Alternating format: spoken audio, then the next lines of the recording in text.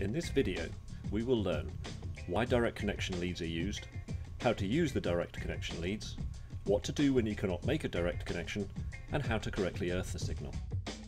Direct connection leads are used as a way of applying a transmitter signal to metal utilities to help you identify and locate a specific target line or utility.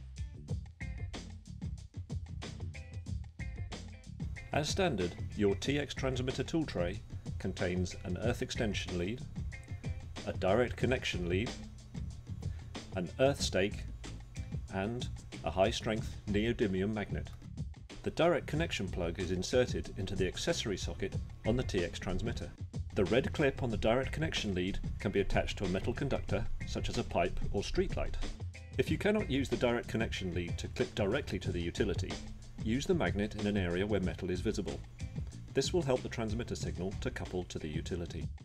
If no metal is visible to connect the magnet to the utility, then you can use the wrap method using the red direct connection cable. Use as much of the cable as possible to wrap around the structure. Once you have made the connection to the structure, you must earth the signal using the black lead. This is most commonly done using the earth stake provided. For your safety, you must use the locator to scan the ground before inserting the earth stake into the ground to avoid hitting any shallow cables. Once the earth stake has been placed into the ground, attach the black clip on the direct connection lead. Where possible, try and use moist or wet ground, as this will improve the TX signal. The earth extension lead can be used to earth the stake further away from the transmitter if there is no suitable ground nearby. If there is no suitable ground available for your earth stake, you can earth the signal by clipping the black lead onto a nearby drain cover. For your safety, only power on the transmitter when you are no longer touching the metal utility, leads or earth stake.